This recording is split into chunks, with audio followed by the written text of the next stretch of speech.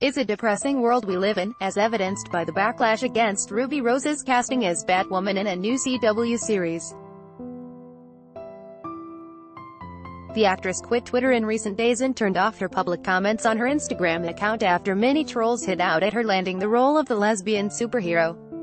However, in a reported final series of posts before her account disappeared, Rose hit back at the trolls, where she spoke about her coming out experience and how it was hurtful to see people in the LGBTQ community tearing her down. Advertisement. Continue reading below. Where on earth did Ruby is not a lesbian therefore she can't be Batwoman come from? Has to be the funniest most ridiculous thing I've ever read, she apparently wrote via The Hollywood Reporter, I came out at 12 and have for the past five years had to deal with she's too gay, how do y'all flip it like that? I didn't change. I wish we would all support each other and our journeys, when women and when minorities join forces, we are unstoppable. When we tear each other down it's much more hurtful than from any group.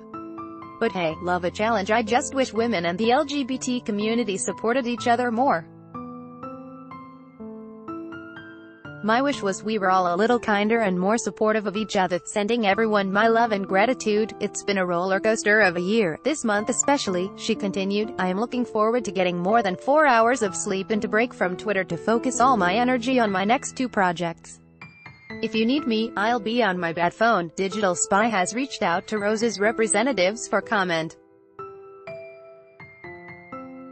Some of the criticism leveled at Rose was the fact that she wasn't Jewish, despite the character being traditionally so, while others claimed she was not a good enough actress to play the role.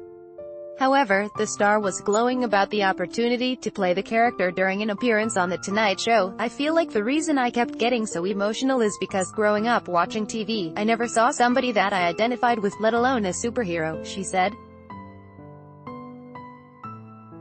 Want up to the minute entertainment news and features? Just hit like on our Digital Spy Facebook page and follow on our at Digital Spy Instagram and Twitter account.